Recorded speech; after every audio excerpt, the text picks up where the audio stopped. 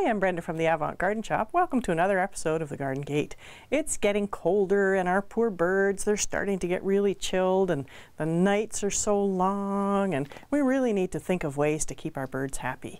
Um, hulled seeds are a great way to go. Peanuts are a great way to go um, because that gives the birds a lot of energy and it just keeps their bodies, uh, bodies working like a little furnace. Um, hulled seeds are great because the bird doesn't have to spend any time cracking open the shell to get at the seed, so they can just munch on the seed really easily. It's like not having any kind of peel on the seed. It's awesome. Suet contains an awful lot of beef fat and other kinds of fat that um, they can digest quickly, and again, it gives them all of that energy that they can uh, that they can use to stay warm.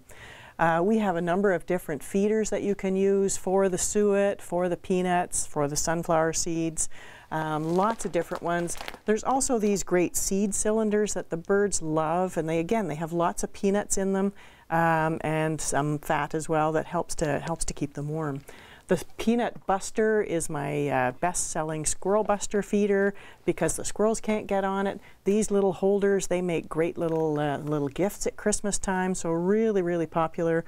Um, you can offer suet in balls. You can offer suet in the little cages. And then, like I say, the peanuts and the sunflower seeds are awesome.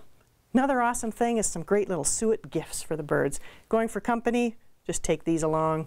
Great gift for the birds. Thanks for joining me. We'll see you next time on The Garden Gate. The Garden Gate is brought to you by the Avant Garden Shop, your destination for garden accessories and backyard birding supplies. Sherbrooke Street, downtown Peterborough.